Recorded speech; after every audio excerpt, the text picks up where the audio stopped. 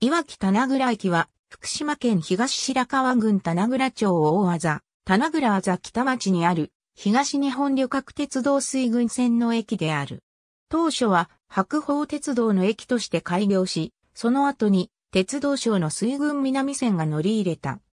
1944年までは、白鳳鉄道の後ろ身である白鳳線の分岐駅であったが、現在は JR バス関東のバス路線、白鳳線となっている。島式ホーム一面二線を有する地上駅である。ホームは旅客上屋付きで、駅舎とホームは屋根付きの古線橋で連絡している。日立大御駅が管理する業務委託駅で友人の切符売り場、乗車証明書発見機がある。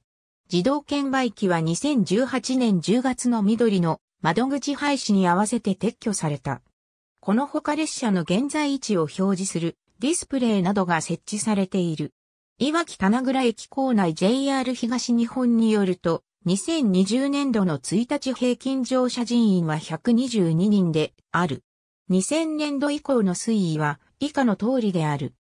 JR バス、村営バス、いわき棚倉駅バス停は当駅ロータリー上に設置されているが、福島交通、棚倉駅前バス停は当駅から徒歩3分程度、歩いたところにある旧国道118号線上に設置されている。ありがとうございます。